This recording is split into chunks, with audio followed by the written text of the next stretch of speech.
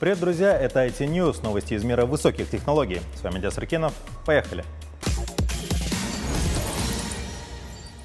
Социальная сеть X Илона Маск запускает приложение для смарт-телевизоров Amazon и Samsung. Как сообщает источник, оно выглядит идентично телевизионному приложению YouTube. Об этой со ссылкой на свои данные в компании пишет Fortune. Приложение для TV Amazon и Samsung планируется запустить уже на следующей неделе. Собеседник издания сообщил, что интерфейс сервиса будет выглядеть идентично телевизионному приложению YouTube. Илон Маск также призвал создателей контента перенести его на X. Блогер Мистер Бист, известный YouTube-блогер с 243 тремя миллионами подписчиков, решил протестировать возможности соцсети, загрузив туда полнометражное видео. Оно принесло доход более чем 250 тысяч долларов. Однако блогер назвал это своего рода фасадом, поскольку считает, что рекламодатели извлекли выгоду из его компании, покупая рекламу в этом видео.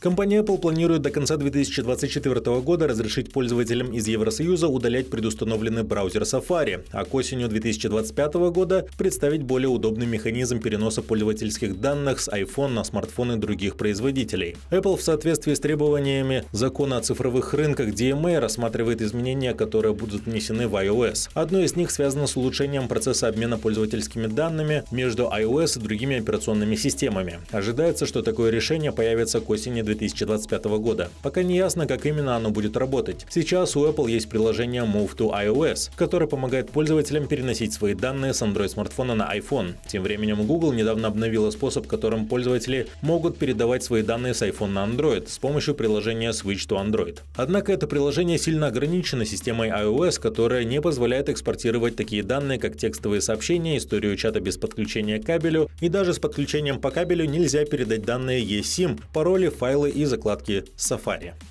В OpenAI завершили расследование HR-инцидента, который чуть не привел к распаду компании, ответственной за разработку ChatGPT. В начале марта 2024 года Сэм Альтман полностью восстановлен в Совете директоров OpenAI после увольнения в Google Meet 17 ноября и возвращения обратно 22 ноября 2023 года. В ходе расследования, которое длилось более трех месяцев, независимые эксперты не выявили нарушений в поведении Альтмана. А вот предыдущее правление компании, наоборот, превысило свои полномочия, решило уволить гендиректора в сокращенные сроки сроки и без предварительного уведомления ключевых заинтересованных сторон. Компания не раскрыла подробности расследования, основанного на десятках интервью с сотрудниками и изучения более 30 тысяч документов, переписки по электронной почте и так далее. Эксперты пояснили, что попытка увольнения Альтмана не была связана с безопасностью решений компании. На пресс-конференции после обнародования результатов расследования Альтман заявил, что он извлек урок из того, как он справился с отсутствием доверия к одному из бывших членов Совета директоров компании. Он не назвал имя члена Совета совета директоров, но Альтман ранее действительно поссорился с Хелен Тоннер, экспертом по этике искусственного интеллекта, которая входила в совет директоров, а также голосовала за его увольнение. В OpenAI также сообщили, что политика компании в отношении конфликтов интересов будет усилена. В частности, будут созданы горячая линия для анонимных сообщений от сотрудников и подрядчиков, комитет по миссии и стратегии, ориентированный на реализацию и продвижение основной миссии компании, и другие дополнительные комитеты совета директоров.